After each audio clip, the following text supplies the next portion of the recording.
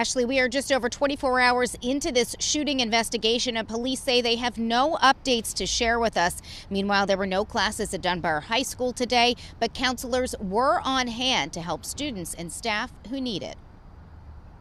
These kids, they kids, they should be out having fun, living their lives, finishing school. But instead, Millie Crowder says she hears more and more about teens becoming victims and suspects of violent crime. It breaks your heart. They just so young and losing their lives so early.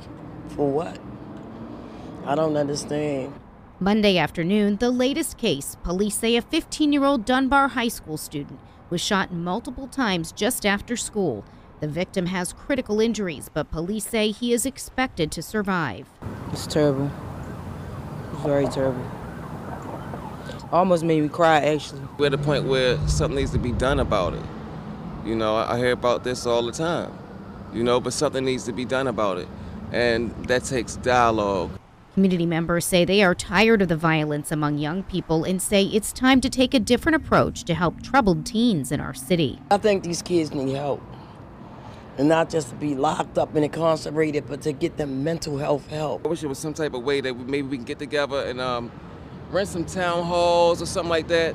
Uh, try to get their attention some type of way. Police have not released a motive in the shooting or any information on a suspect.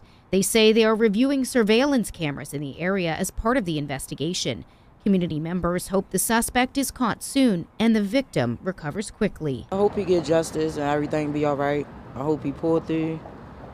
That's it.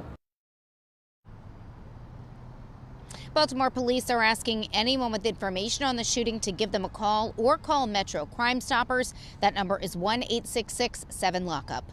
Reporting live downtown, Kim Dacey, WBAL TV 11 News.